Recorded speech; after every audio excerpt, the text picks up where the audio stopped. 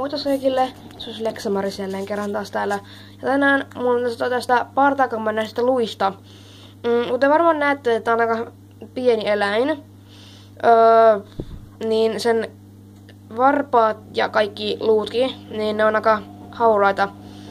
Mutta yksi juttu missä on aika hauska, kun niiden sormet on niinku hirveän kumimaiset, niin ne taipuu aika moneen suuntaan. Oho. Eli niin kuin te nyt näette, tämä aika täällä lentää taipuu ihan moneen suuntaan.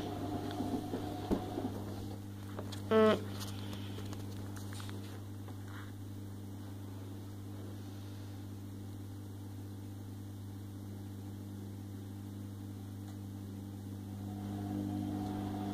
Niin.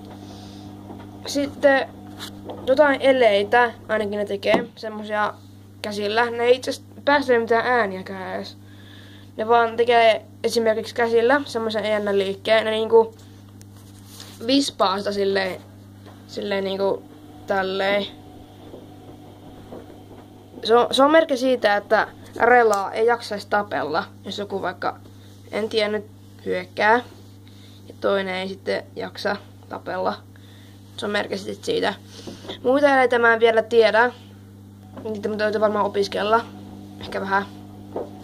Mut joo, eiköhän se ole siinä. Näin taas tein toisessa videossa. Moikka!